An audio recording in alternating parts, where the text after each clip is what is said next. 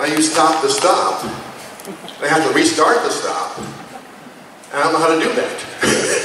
so I, and then I lost my train of thought. And it was, it was a miserable ending, and I apologize. So let me begin where I was going to go yesterday. And we'll play along, this is the end of that panel. What I wanted to say, this is something I think is important in all storytelling, all the forms, and maybe have some re re re resonance and uh, meaning for those in the room. I was up very late. um, a lot of the discussion yesterday was about world building and giving information and revision, and no one that talked about the important parts of all this, which is people actually don't want to be told a story. They don't want to hear a story. They want to experience a story. They want to be, be uplifted, ennobled, amused, entertained, scared, horrified, but not just bored, not just given information. And the best example that I have of that, because what you want to do is you want to look at the audience, like, and yourself, like, this is the world's biggest game, biggest game of cat and mouse. You know, mousey in your throat. And the best example I can think of of that, how you are writing toward a reaction from the audience, because writer's job is to touch passion, not be burned by it, and come back and tell everyone else what it felt like, and light them up. So the example I was going to give was um, in, in Severed Dreams. Somebody has seen Severed Dreams? Oh, interesting.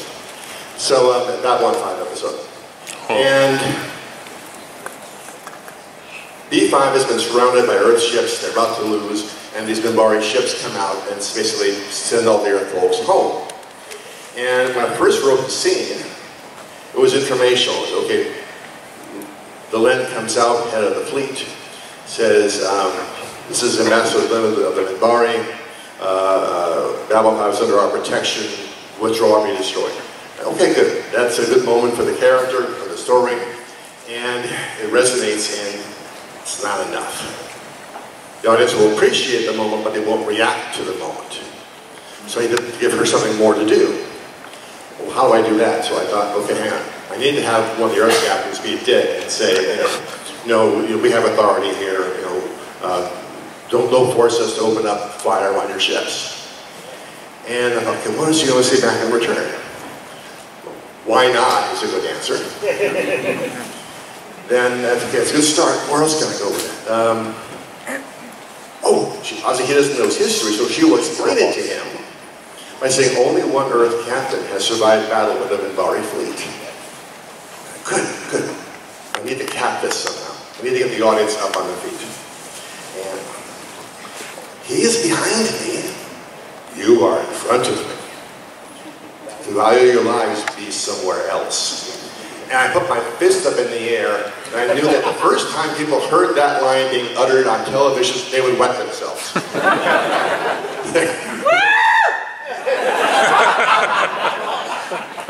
Is actually in support of pee, apparently.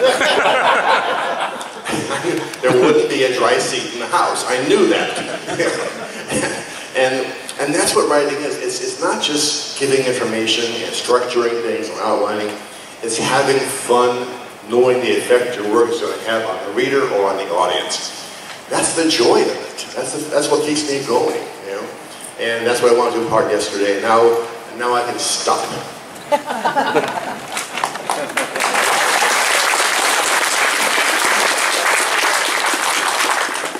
wasn't worth your applause.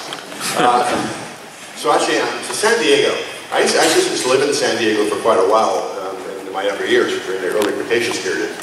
And um, I actually worked, uh, I lived in Chula Vista, and I worked at the Chula Vista Public Library. This is a totally true story. And my job was twofold. One, I was there to pack up books and put them back on the shelves. But that was secondary to the main job, which was being a shusher. I was to walk around and people were being loud. I was to shush them. That's right, I was a bouncer at the library. I'm a badass that way. And Um, it was particularly important on, on, Friday and Saturday nights because you know, young women were there, were there trying to study and do their homework and research. And there was guys either making trouble or making noise or hitting on them. And my job was to, you know, tell them to knock it off or, or throw them out. And mind you, I was 140 pounds as six foot four. So, fortunately, next to a police station, so that was kind of okay. Uh, and so, was one night, um, there were these three guys who were just mercilessly going around and just hitting on women. I said, look, you need to leave. They didn't want to leave. I said, look, the cops are next door. It's a three and a half minute walk. And you, you're going to go now or I'm going to make that walk. And they left. So, closed up for the day, for the night I should say. It was like 8, 8 o'clock. And I walked up to a um, coffee shop in uh, Chula Vista, uh, four blocks away. And I walk into the coffee shop, and I see the three guys at the booth sitting there. And they, they see me and I see them, but nobody does anything. I just want to get a cup of coffee and get out of here before, you know, the bus, the bus comes. I, I don't drive, I've never driven. Um, if anyone wants to know why, I'll tell you later. So waiting for the bus, yeah, having coffee and at my watch and timing it down. I figure I'll walk out like two minutes before the bus is due and I'll get on and everything will be fine. So it's almost that time. I go to the restroom, come back, finish up my coffee, and they're gone, by the way. That's like, oh good okay, I can go home. As I finish the last sip of coffee, see a little bit of piece, uh, piece of paper floating on the bottom. And I recognized it because I had friends who did, you know, acid. This is window pane acid, which has strychnine in it to enhance the, uh, the effects. And I think I have maybe 15, 20 minutes before this kicks in. So I got on the bus and I'm you know, making sure that you know, I can get home in one piece and I get back and it was just the night of horrors. Um, but, but that one, one incident aside, you know, I, I also be bugged later on by some other guys. Um, I've, I've, always loved San Diego. It's my favorite place in the country. And it is. Which is why you blew it up. Huh? Which is why you blew it up. Every relationship has ups and downs.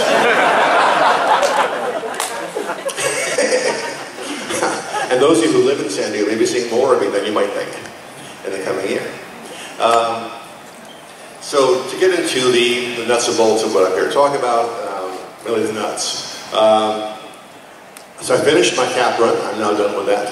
And I wanted to tell certain stories. That's done now.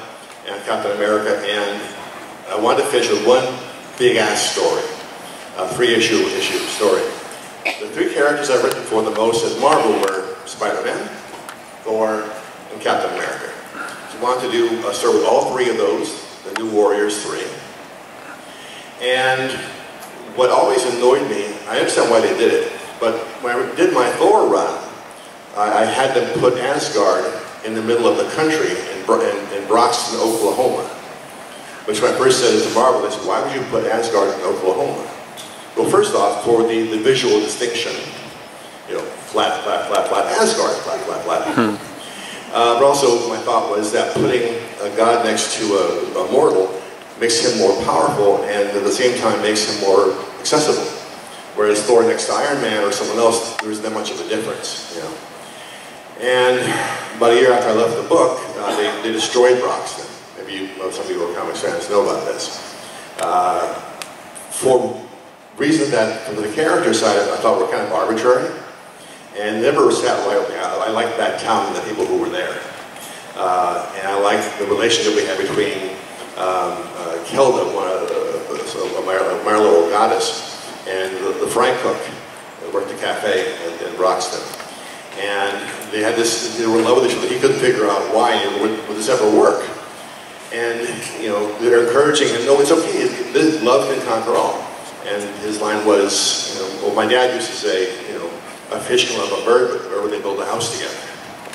And uh, Dr. Blake says, uh, on the edge of the river.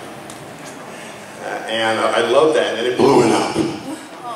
Uh, so I bring Broxton back.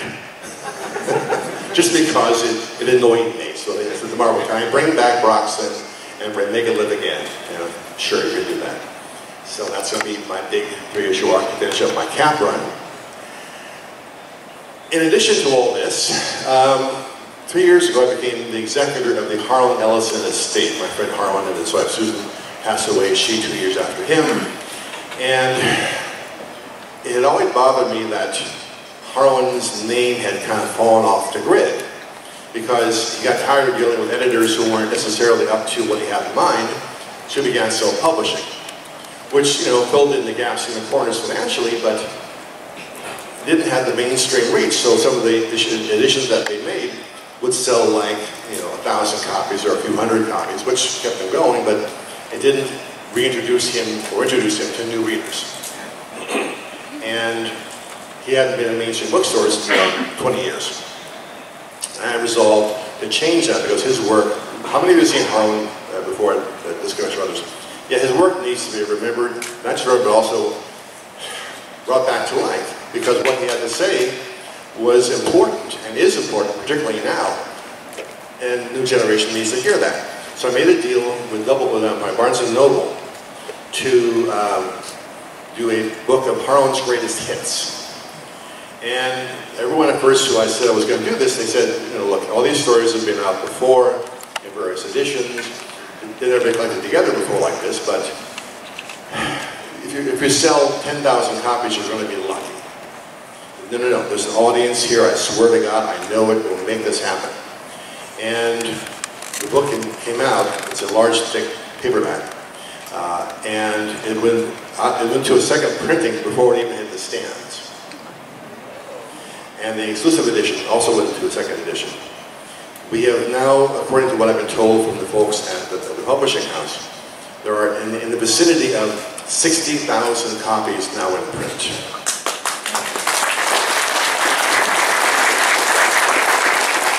And that's, that's kind of cool for a guy who's been, you know, out of it for a while. And the, the fun part has been seeing this whole new generation adopting him. Uh, those of you who are on TikTok, I'm sorry for all of you. One moment. Adopted Harlan. And there's, there's just hundreds of TikTok videos about Harlan drawing on his old videos and his work and, and how much they love him and they're doing drawings about him and memes about him. And I thought, what, what the hell is going on here? You know, there, there was a, a whole about the sex symbol, you know. Um, and, and I started, started reaching out to some of them saying, what, well, this is huge. Two years ago, you couldn't find you know one or two uh, tweets in a, in a month about Harlan, usually from older readers. Now there's every day these younger generations talking about it. Millennials, Gen Z, Alphas. And I said, why? And what they said was that in their schools now, the books have been so heavily censored and limited because of political pressures of one sort or another, that everything they get is been soft and mealy and the corners have all been chopped off. And here comes Harlan Ellison, who doesn't give a shit, you know, and embraces controversy, embraces saying things that, you know, will galvanize you. And, and they've taken him to their heart, um, and their spleen and their kidneys and other organs. Um, there was a, a, story I started to tell last time I was here to do the um, Road Home promotion about Harlan and uh, attempted burglary at his house, but I stopped myself. As I recall, I didn't tell that story. Anyone who was here can. Is that confirmed? I'll tell it anyway. I think, I, I, think what happened was I'm talking about Road Home, and I said, I started the story and I stopped it, uh, not the place for it. So after I became executive of Harlan's estate, first thing I had to do was to secure his house. Because the house is a work of art. It has towers, it has secret rooms, one of which he used to hide draft dodgers during the Vietnam War. Um, it's got gargoyles based after Richard Nixon and Phyllis Schlafly, and all the figures in the far right back when it, it was uh, very active. And so whenever Harlan wanted to build something new in the house and there was part of the alarm system in the way, he would pull out the alarm system. So all he had was a chime on the front door. So we had to fix this right now because there's no one in the house. So I put in, immediately, when ACS put in, um, uh, door alarms and that sort of thing to start off, and then we would later put in more stuff. And by the way, now there are motion sensors, cameras, door alarms, motion sensors outside, cameras outside and inside. We have pulse cannons. um, ain't nobody getting in that house. But at that time, all we had was the door alarms. The window alarms. So I got those in first. Okay, great. Now we can work on the rest of it. And it was a, a Friday night, about two in the morning, and I got a call from ACS saying there's uh, the uh, alarm at the house. I'm like 15 minutes away, so I zoom out to the house. And what had happened is they had come, they'd broken through a patio door. And when you walk into Harlan's house, it is sensory overload. Everything you remember as a child that you enjoyed or had fun with or brought you pleasure or meant something to you, it's all in his house. Uh, every inch and every wall is covered. There's a quarter of a million books by count. Um, there's a room dedicated entirely to mugs. This cups and mugs for an entire room. And so I'm sure when they saw that, they went, oh my God, we hit the jackpot. They began pulling stuff together, got, got the alarm, and by the time we got there, they split and they dropped the bag of stuff they were carrying out, so we got to go recover that. And that was it, and everything was fine, and I, had the door closed up, and no problem. So, but now it's like 5 o'clock in the morning, and I'm all wired up, and uh, I can't sleep. Well, I'll just stay up until late tonight. I work in the evening anyway. So Saturday night, 1 a.m.,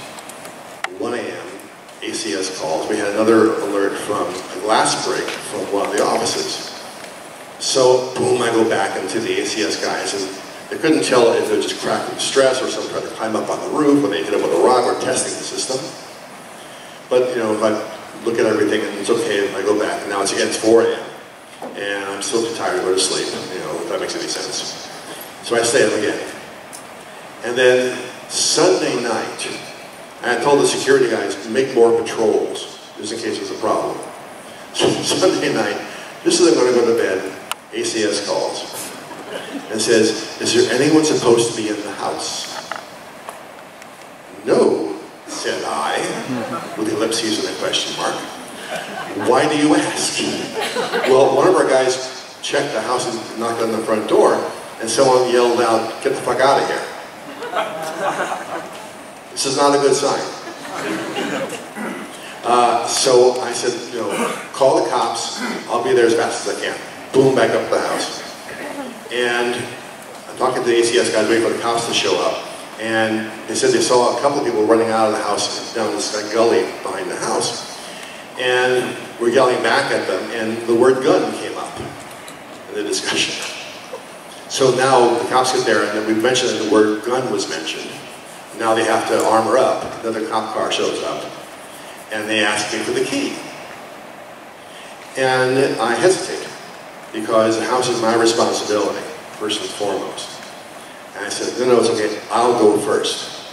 And I said, are you sure? I said, why, yes, sir, I am, officer. So imagine a conga line leading up to the door, me in the front of the door, and six cops with body armor behind me, hands on guns. And I turn the lock, I push the door, and it stops. Like there's someone behind it holding it back or something. And my very first thought is, I've just made a terminal error. I figure I'll push it really hard, knock down whatever, whoever this is. I push really hard, I hear a shh sound. I look around the corner with a flashlight, and there's two suitcases filled with swag that they had just been packing up by the door. They had put them by doors and windows, and literally were just in the process of about to have a car swing by probably and get this stuff. They're professionals and, and 10 more minutes they would have been gone.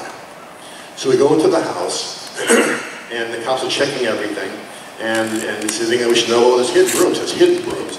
There's no drugs, man, I'm telling you, there's, you do that shit. And we go up to the second floor where Susan's office was, and there's one window there that um, they broke through that was not armed because it's way up there. And they shattered the window and broke the frame, got in from there, and they came down and was very careful to avoid detection. So I fill out the paperwork, takes hour or two, the cops realize that nothing was stolen, we're all, we're all good, and leave. But now I think, hang on a second, that window cannot be closed now. I am having people come later, but this can't be closed for the next four hours. It's now like four o'clock in the morning. If I leave, they'll just come back and finish the job. They said, leave all the bags as they are for a fingerprint. if I stay, a gun was mentioned. I stay. I get a flashlight. I get a pair of scissors because whoever comes to that window is going to lose an eye. I sit there by that window from four in the morning until dawn. Uh, and at one point I heard noise on the roof. I thought, okay, this is it. It was just a raccoon. Um, but uh, finally, dawn broke and I got the contractor to dispose it up. Uh, but the whole time I'm sitting there waiting for death, you think Harlan did it to me again. he fucking did it to me again. So now that publishing is in gear and the book has done really, really well, I'm talking about the next edition of that, putting out its prior anthologies, and I want to get to phase two, which would be getting some movies and TV shows done based on his work, and we're in discussions now for that to happen. So he is now more or less in place, and I'm very happy about that. And the best thing is that you know when when I go to dust, which will be sometime around tomorrow at two o'clock, um, his work will generations. Now that the, the, the younger folks now have discovered his work, they will carry it forward, and he will continue. And that's what you want as your writer. You, know, you want your work to live on, and that will be done. Um, in terms of my own work, uh, I just recently did an audio drama uh, for Earthlight, called Earthlight, for Penguin Random House. They want to move on from doing just uh, audio books to audio dramas, and they want someone to be the spirit, tip of the spear on that, so they, my phone rang naturally. Uh, and we're actually having a panel about that later on today with one of the producers who is um, Robin Atkin Downes, who worked with me on Babylon 5, also a very well-known voice actor, so he'll be there as well. Um, I recently just, it was just announced two weeks ago that I adapted Watchmen to an animated movie for Warner Bros., which is coming out, I think, in about three weeks. Um, thing is, you know, I, I, I didn't see any reason to change Alan's words or add to them with my own. It's, it's there, it just needed to be adapted to different forms. That's what I did with this. So if you're looking for any, any JMSs, you you will find them there. And working on the novel, which I can't talk about yet, but I'm very excited about it. Those are the, the big hits for the, for the moment. What I'd like to do, now that all the status stuff is done, the most fun that I have at these, conversa at these panels is to have a conversation with you, which is both if you like cartoons, movies, books, music. I demand you subscribe to this channel. Subscribe. Be prepared. Doom. Subscribe or be prepared for doom. Do not resist. Do not resist. Subscribe. Subscribe. Subscribe you.